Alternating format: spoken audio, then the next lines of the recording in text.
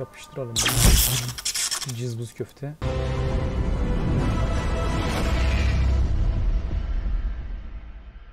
Yeni bir Hops videosundan herkese merhaba. Bu videoda Teddy ve Pugly ile birlikte combo göstereceğiz. Ben bunun için öncelikli olarak kesinlikle olması gereken iki karakteri bunları aldım zaten ikisini.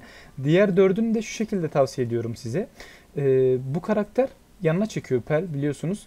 Diğer 3 karakterde oyunda e, düşmanı bir birim geri iten yani bu karakter en sona kadar itiyor. Bunlar da geri iten her rakibi iterek çekerek o pozisyonu Teddy ve Pugly'nin e, combo hizasını yukarılı aşağılı pozisyonunu şu şekilde işte böyle ya da şöyle daha kolay elde edebildiğiniz için bunlar sayesinde daha kolay elde edebildiğiniz için bu şekilde kartları aldım ben. Ama e, daha da hani zor olur diyorsanız, combo yaparken yenilmeyeyim diyorsanız Laurel falan da alabilirsiniz. Bu size kalmış. Şimdi bir tane eşleşme bulalım hemen. Oyna diyelim. Ba- bakalım gösterebilecek miyiz komboyu. Hmm. Şimdi oyunda artık sıfırlandığı için leveller falan karşıdaki insanın ne kadar tecrübeli ya da ne kadar tecrübesiz olduğunu çok iyi bilemiyoruz. Öyle bir durum da var. Şunu koyalım, uzakçımızı koyalım. Keşke en başta gelseydi kartlarım çok güzel olurdu.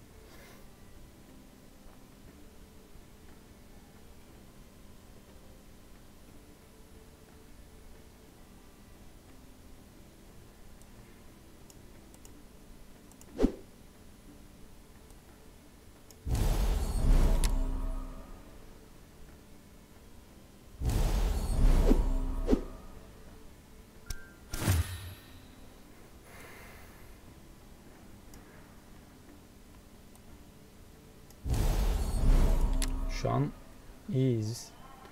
Şuralara bir kart koyarsa daha da iyi oluruz. Zaten illaki koyması lazım. Diğer aynen diğer taraflara koyulmuyor çünkü.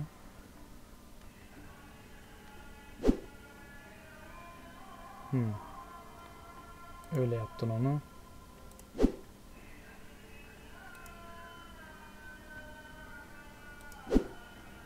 Hata yaptım. Bunu çektiğim zaman şuraya geliyor. En geride yapmam lazımdı. Hmm. Neyse sıkıntı yok. Diğer tur yaparız. Zaten buraya gelemez şu an. Mesela o da hata yaptı. Ee, hasarı 1 olan bir karakterle 2 ya da 3 olan karaktere çok vurmaya gerek yok. Canı az diye vuruyorsunuz ama sizin canınız daha çok gidiyor. Bayağı bir tuhaf bir sis efekti var onun. Hmm. Şöyle yapalım o zaman. Hmm.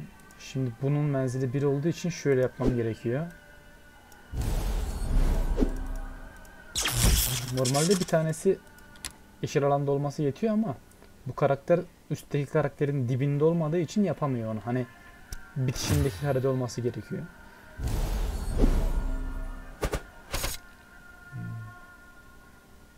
O da güzelmiş. karakter yeşil alanda kullanmamanız bir karakter bence. Uzaktayken yani o özelliğini kullandığı zaman ne yapıyor lan tövbe estağfurullah. Sıkıntı oluyor. Kendi cana gidiyor. Ama şimdi ne yapalım? Şunu şuraya koyalım. Ona çok vuramasın ama şöyle yapalım. Bir sonraki tur vururuz ona. Yapıştıralım bunu. Cızbız köfte. Şunu da buradan çıkaralım. Bir canı kaldı. Buna vurabiliyor mu? Gerek yok. Gerek yok. Vuramıyorum zaten direkt. Yani vuruyorum ama nasıl vuruyorum? Vuramıyorum ki. Yok vuramıyorum şunu zaten. Oo öldürecek onu. Güzel. İşte kartları da biraz tanımak gerekiyor. Kartları çok tanımadığınız zaman bu burada kendi kendini öldürüyor zaten. Hani siz rakibi öldürmeden rakip bakın mesela Aqua ne yaptı? Yeşil anlattı oraya geldi. Hani Aqua arkasına vuruyor.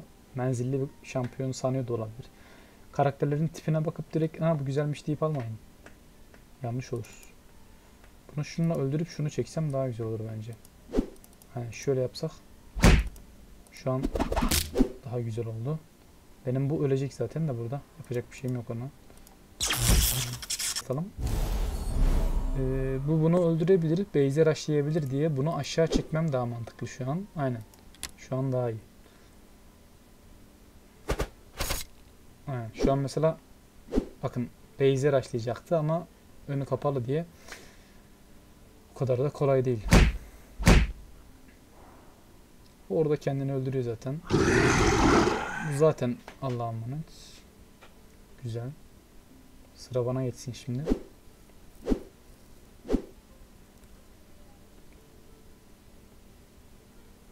Şimdi ikisi burada.